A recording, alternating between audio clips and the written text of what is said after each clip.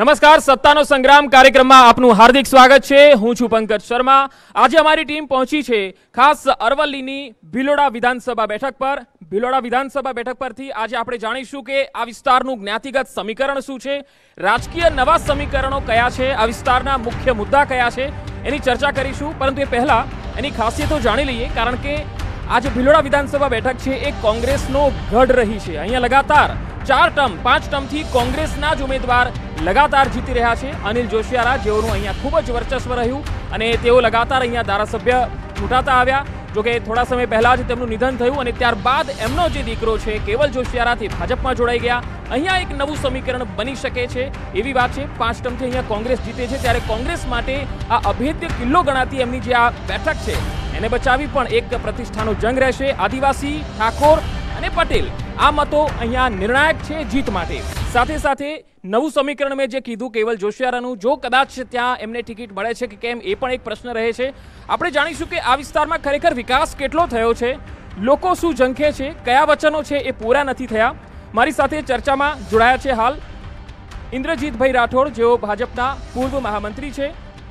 ધનજીભાઈ નીનામા છે, તાલુકા પંચાયતના સભ્ય, બંને ભાજપના નેતા આ બંનેનું સ્વાગત છે.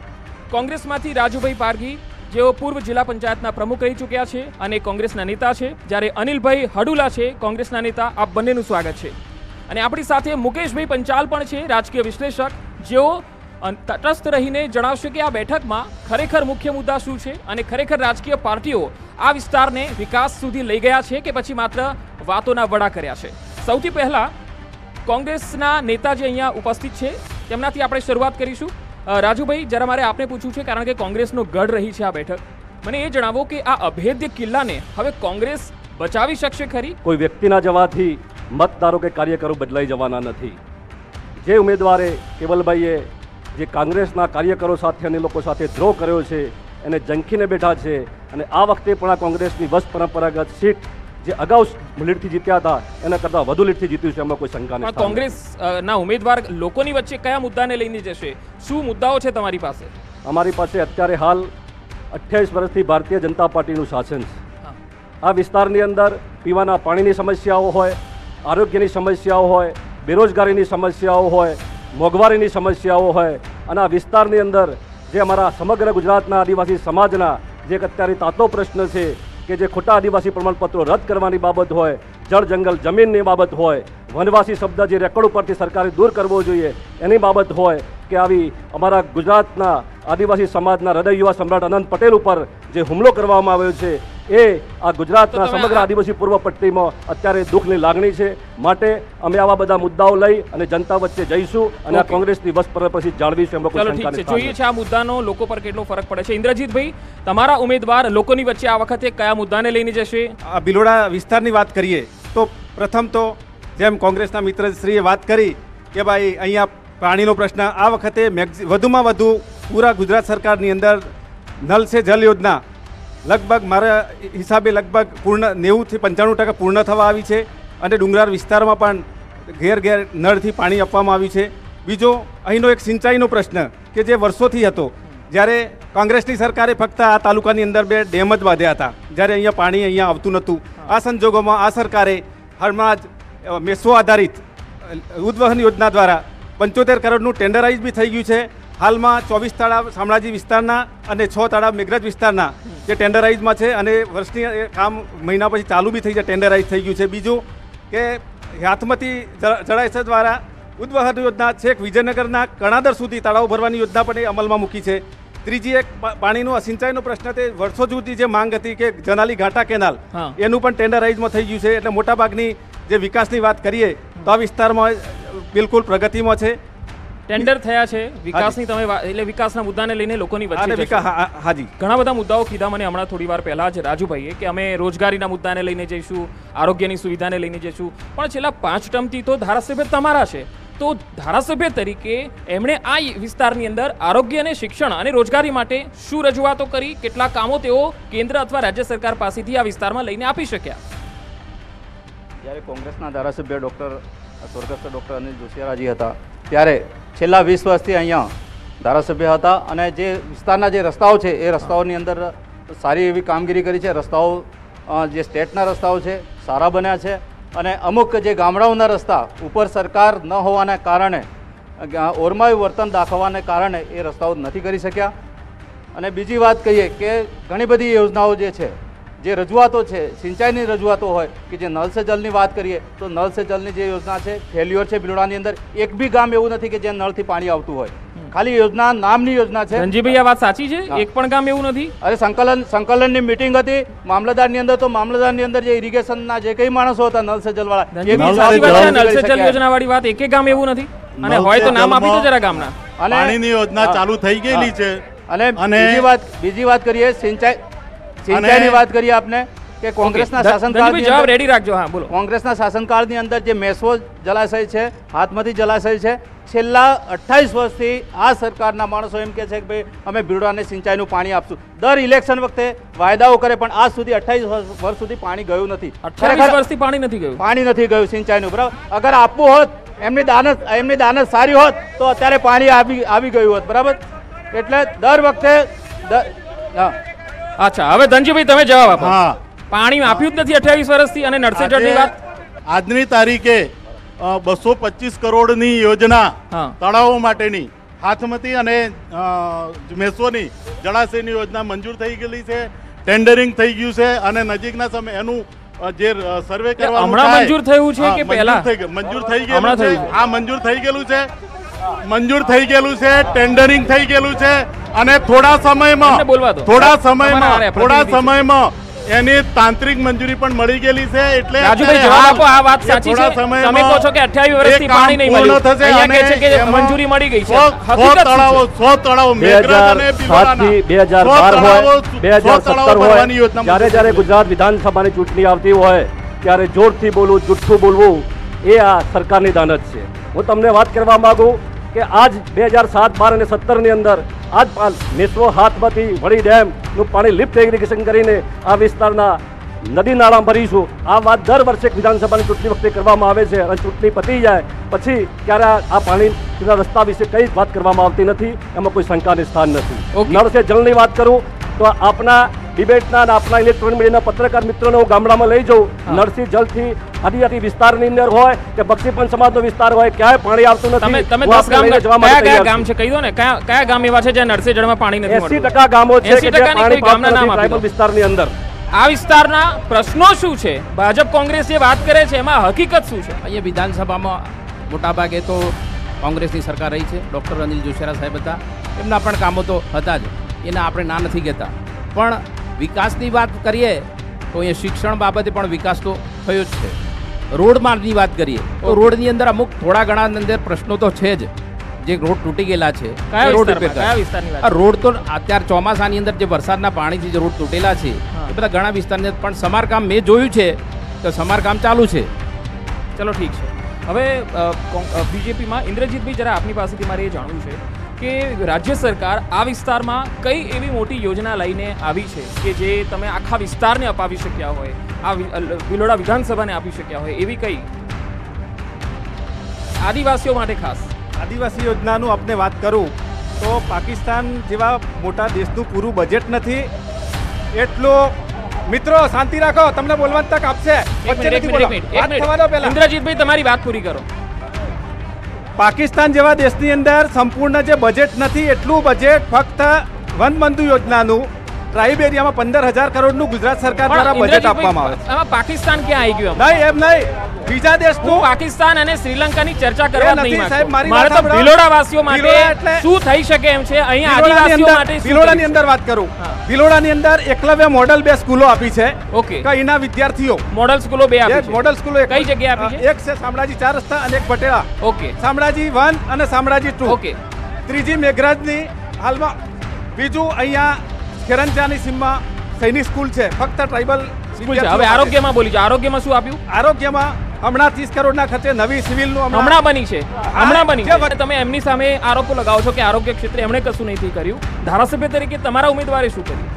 ગુજરાતની અંદર વિધાનસભામાં જો સૌથી વધુ રજૂઆત કરી હોય આ બિલોડા મેઘરજની વિસ્તારની અંદર તો ડૉક્ટર જોશેરાએ વિધાનસભાની અંદર ખૂબ સારી રજૂઆત કરી છે. કે આદિવાસીઓ સર્વાંગી બજેટની વાત કરવામાં આવી છે એ ફક્ત ખાલી કાગળ ઉપર રહે છે. બિલોડા મેઘરજ શામળાજ વિસ્તારની અંદર એક મલ્ટી સ્પેશિયાલિસ્ટ હોસ્પિટલ બનવી જોઈએ. અહીંયા ટ્રોમા સેન્ટર બનાવવાની વાત કરવી જોઈએ. આ અમે અગાઉ અગાઉ જિલ્લા- અરવલ્લી જિલ્લા પંચાયત દ્વારા પણ સરકારમાં આ પરિપત્ર કરવા માટેની વાત કરી હતી. આજ સુધી પણ ક્યાંય મલ્ટી હોસ્પિટલ નથી બની ખાલી હોસ્પિટલનું લોકાર્પણ કરવામાં આવ્યું. પણ તે અત્યારે હાલના જે હૃદય જેવા ડાયાબિટીસ જેવા ગંભીર રોગના ડોક્ટરો કે ટેકનિક સ્ટાફ પણ નથી. તો આ કઈ રીતે વિકાસ કહેવાય? ધનજીભાઈ જવાબ છે તમારી પાસે? ભિલોડા અને ભિલોડા. જેમ કહે છે ભાઈ કે આદિવાસી સમાજ માટે વિકાસ નથી થયો. તો આદિવાસી સમાજ માટેનો શૈક્ષણિક વિકાસની કહીએ તો Eklavya residency school. Eklavya residency school એ આદિવાસી માટે જ હોય છે. એને પરીક્ષા પદ્ધતિથી એમાં એડમિશન આપવામાં આવે છે. બીજું તમને કહું આદિવાસી વિસ્તારમાં પીએસસી અને CSC centre Chorimala CSC centre એ પણ અમારા સરકારમાં થયેલું છે. અત્યારે હાલ જનાલીમાં જનાલીમાં પીએચસી સેન્ટર પણ અત્યારે મંજૂર થઈ ગયેલું છે. ભિલોડા તાલુક, પાલ્લા પણ મંજૂર થયું. ભિલોડા તાલુકામાં ભિલોડા કોટેજ હોસ્પિટલમાં ડાયાલિસિસ સેન્ટર અમારી સરકાર સરકારમાં થયેલું છે. કે- આદિવાસી વિસ્તારમાં આરોગ્યની દ્રષ્ટિએ ડાયાલિસિસ સેન્ટર નતું ડાયાલિસિસ આદિવાસી વિસ્તારમાં. ડાયાલિસિસ સેન્ટર છે એવું છે રાજુભાઈ ડાયાલિસિસ સેન્ટર ચાલુ કરવા પીએચસી પણ છે. આરોગ્ય માટે જમીન હકપત્રો આપે છે એવું પણ છે. મલ્ટી સ્પેશિયાલિસ્ટ હોસ્પિટલની વાત કરો હવે એક બીજો મુદ્દો. ત્યારે લોકો એવું કહે છે કે કોઈ ઇન્ડસ્ટ્રી અહીંયા છે નથી અમારે રોજગારી માટે ભણી ગણીને બહાર જવું પડે છે. તો બંને પક્ષોએ આ વિસ્તારમાં ઇન્ડસ્ટ્રી લાવવા માટે શું પ્રયત્ન કર્યા? કેમ કોઈ ઇન્ડસ્ટ્રી નથી? ઇન્દ્રજીતભાઈ તમે જવાબ આપો. હાલમાં જોવા જઈએ તો વાંકાનેર. તો જીઆઈડીસી. કાર્યરત છે. અસાલ અસાલની અંદર પણ કાર્યરત છે. રોજગારીનો પ્રશ્ન જોવા જઈએ તો અત્યારે હાલમાં હાલમાં કોઈ કોઈ પણ જગ્યાએ જાઓ તો વિસ્તારની અંદર તમામ જગ્યાએ કોઈ બેરોજગાર હોય એવું લાગતું નથી. તમામ જગ્યાએ તમામને આ રોજગારી વિસ્તારમાં રોજગારી ક્યાં મળે? અવારનવાર અમારા કોંગ્રેસ પક્ષના આગેવાનોએ પણ સરકારમાં રજૂઆત કરી છે તેની સ્થાનિક રોજગારી મળે પોતાના પરિવાર માટે સાથે રહી શકે. પણ ક્યારે ઉદ્યોગો સ્થાપવામાં આવતા નથી. અહીંયા આદિવાસી સમાજ હોય દલિત હોય બક્ષીપંચ સમાજ હોય ગરીબ સમાજ હોય એ પછાતનો પછાત રહેવો જોઈએ એવી આ ભારતીય જનતા પાર્ટીની નિષ્ઠા છે. એટલે અહીંયા ઇન્ડસ્ટ્રીનો વિકાસ નથી તો તમે તમે કંઈ કહેવા માંગશો? મને કહો તમારા ધારાસભ્યએ ક્યારે આંદોલન કર્યા? કે અહીં રોજગારી લાવો અહીંયા ઇન્ડસ્ટ્રી લાવો કોઈ દિવસ આંદોલન કર્યા? આંદોલન કર્યા ક્યારે કર્યા? શું પરિણામ મળ્યું કર્યા છે.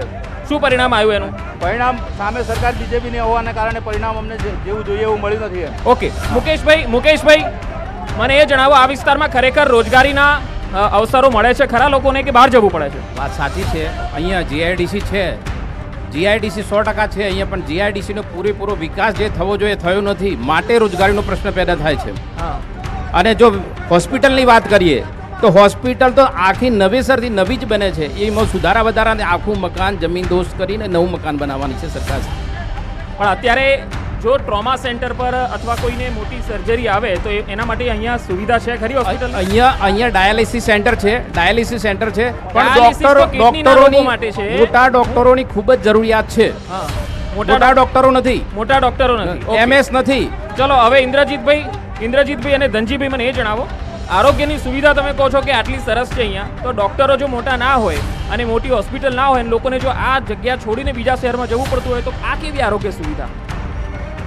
ધનજીભાઈ જણાવો. હાલમાં જે નવી હોસ્પિટલ બની રહી છે એ પ્રશ્નનું સોલ્યુશન માટે જ અને મોટા ડોક્ટરો બી ત્યાં લાવવાની હોસ્પિટલ છે. કોટે કોટેજમાં ઓકે એ? ડિમોલેટ કરી અને હવે ત્રીસ કરોડનું હમણાં જ માનનીય મોદી સાહેબના હસ્તે વર્ચ્યુઅલ ત્યાંથી ખાતમુહૂર્ત બી કરવામાં આવ્યું છે. ઓકે એ તો અને અને બીજું સાહેબ કે જ્યારે કોઈ પણ જ્યારે જેની ઉંમર થાય તો એક વસ્તુ છે કે એને નોન યુઝ કરીને ડિમોલેટ કરવું પડે. બહુ જૂની સિવિલ હતી એટલે હાલમાં એને નવી હોસ્પિટલ એ તો નવું લોકાર્પણ કરી પણ મોટા ડોક્ટરો તો હોવા જોઈએ ને. માનો કે હોસ્પિટલો રિનોવેટ તો જ્યારે થશે ત્યારે થશે બે વર્ષે બનશે. પણ ત્યાં સુધી લોકોનું શું? બે વર્ષે માનો કે આખી રિનોવેટ થઈ જાય. ઓફિસ મેડિકલ ઓફિસરો છે જ ત્યાં. મેડિકલ ઓફિસર એ. સ્પેશિયાલિસ્ટ નથી. તમામ મોટા ડોક્ટરોની વાત કરું છું. મોટા? ડોક્ટરો છે ને? ઓકે ગામના લોકો એવું કીધું છે કે અહીંયા કોલેજ નથી આ વિસ્તારમાં. તો એનું શું કારણ? કેમ લોકોને બહાર જવું પડે છે? આ વિસ્તારમાં યુનિવર્સિટીની પણ એક માંગ હતી. શું એ પૂરી થઈ શકી છે ઇન્દ્રજીતભાઈ? અલવા કોલેજ એક Bhiloda arts and commerce college છે. શામળાજી શામળાજીની અંદર. શામળાજી છે. હા, ભિલોડામાં? એમ ભિલોડામાં આર્ટ્સ એન્ડ કોમર્સ કોલેજ છે. ઓકે. અને સરકારી છે કે ગ્રાન્ટેડ છે? હાજી. સરકારી કોલેજ છે? સરકારી કોલેજ છે? સર- સરકારી સોમજીભાઈ ડામોરની ઓકે ઓકે. શામળાજી શામળાજીની અંદર. અને અહીં યુનિવર્સિટીની માંગણી પણ હતી. યુનિવર્સિટી માંગણી છે અને એના માટે શું પ્રયત્ન થઈ રહ્યા છે? પ્રયત્નશીલ થયા છે કે અરવલ્લીની એક અલગ વિશેષ યુનિવર્સિટી આપવામાં આવે. એ બધા વિદ્યાર્થીઓ જગતની માંગ છે. તો એ એ પૂરી એના માટે શું પૂરી થશે કે પછી માગણી કરી છે? તમારે માગણી થોડી કરવાની ના ના. સરકાર તમારી જગતની એ આપવાની એ પ્રોસેસમાં છે. તો કેટલા સમયમાં થાય? એક્ઝેક્ટ હું હાલમાં ના કહી શકું. જો આ ડબલ એન્જિનમાં પછી તમે ટાઈમ બી પછી તો આ તો એવું થયું કે ચલો વાંધો નહીં. હવે એ કહે છે કે યુનિવર્સિટીની માગણી છે અરવલ્લી યુનિવર્સિટી બનાવવા માટેની. એની રજૂઆત એમણે કરેલી છે. હવે બંને પક્ષો બંને પક્ષો પાસે એક બીજો એક સવાલ. એક તો અહીંયા બૌદ્ધ મંદિર માટેની બૌદ્ધ કલાકૃતિઓ મળી આવેલી છે અને એના માટે બી ઘણા બધા લોકોએ કીધું છે કે એનું પણ એક મંદિર હોવું જોઈએ. શું આવની કોઈ રજૂઆત આવી છે બંને પક્ષો પાસે? રાજુભાઈ, તમારા પાસે કોઈ રજૂ? દેવની મોરી? કંઈક જૂનું કંઈક મંદિર હતું એવું કહેવામાં આવે છે. બરાબર? પણ એની કોઈ રજૂઆત આવી નથી. ઓકે એ- એટલે કોઈ ટુરિસ્ટ પ્લેસ અહીંયા બનાવી શકાય એવું કંઈ ખરું? એનું દેવની મોરી સિવાય બીજું કોઈ એવું પ્લેસ એનું સર્વે બી થઈ ચૂક્યું છે. ત્યાં સ્તંભ બી લગાવવામાં આવે છે બુદ્ધ મહાત્માઓ દ્વારા. ત્યાં આગળ સર્વે બી થઈ ગયું છે. સર અને ત્યાં આગળ એ મોટું ટુરિઝમ એક સેન્ટર બને. ઓકે એ રીતે પ્રોસેસ ચલો ઠીક છે. એટલે ટુરિસ્ટ પ્લેસ બને આ વિસ્તારમાં એ જરૂરી છે જેથી આવક પણ વધે. જેમ કે દરેક જિલ્લાની અંદર આપણે જઈએ તો ક્યાંય કે ડેસ્ટિનેશન એવું હોય છે કે જે જોવાલાયક હોય છે એ પણ અહીંયા ભિલોડામાં હોવું જોઈએ. હવે મુકેશભાઈ મુકેશભાઈ આપની પાસે આવું છું. હવે જો ઘણી બધી પાર્ટીઓ છે જે આ ચૂંટણીમાં ઝુકાવાની છે. આમ આદમી પાર્ટી પણ હોઈ શકે આદિવાસીઓની પણ એક ટીમ છે. એક એક મિનિટ આવું છું આપને. એક મિનિટ એક મિનિટ. મારો સવાલ પતી જવા દો. મુકેશભાઈ ત્રીજી પાર્ટીનો ઉમેદવાર અગર અહીંયા આવે છે હવે આદિવાસી વોટ અહીંયા વધારે છે. તો શું એ ખરેખર આપ આપ સીટ ઉપર કોઈ ઇફેક્ટ કરશે? કરશે તો કોઈ પાર્ટીને કરશે? બહુ સરસ વાત કરી. તમે અહીંયા ભારતીય જનતા પાર્ટી રાષ્ટ્રીય કોંગ્રેસ પાર્ટી અને ત્રીજી આમ આદમી પાર્ટી. આમ આદમી પાર્ટી ક્યાંક ને ક્યાંક નુકસાન કરવાની છે. કોને કરશે? પણ સૌથી મારી દ્રષ્ટિએ કોંગ્રેસને નુકસાન કરશે. એનું એનું કારણ શું? એનું કારણ સૌથી વધુ વસ્તી આદિવાસી પ્રજા છે. પછી આવી બક્ષી પંચાઈ પછી અન્ય આયા અને એ જ પાછો સામે નુકસાનમાં એ છે કે ડૉક્ટર અનિલ જોશિયારા સાહેબ જે કોંગ્રેસના વર્ષોથી ધારાસભ્ય તરીકે ચૂંટાયેલા એમના જ સન ડૉક્ટર કેવલ જોશિયારા સાહેબ એ પણ ભારતીય જનતા પાર્ટીમાં જોડાયા એટલે કેવલ જોશિયારાને જનતા પાર્ટી માની લો કે કેવલ જોશિયારાને ટિકિટ મળે તો શું થઈ શકે? તો કેવલ જોશિયારાને ટિકિટ મળે તો પણ તો પણ. કોંગ્રેસને નુકસાન થઈ શકે થઈ શકે. ઓકે હવે ભાજપ કોંગ્રેસના બંને આગેવાનોને મારે એક કોમન છેલ્લો સવાલ છે. તમે લોકો માટે એવા કયા ત્રણ કામો આગામી જો તમારો ઉમેદવાર જીતે છે આ ચૂંટણીમાં તો કરવા માંગો છો? પહેલા ઇન્દ્રજીતભાઈ. કયા ત્રણ કામો કરશો આ બેઠક માટે?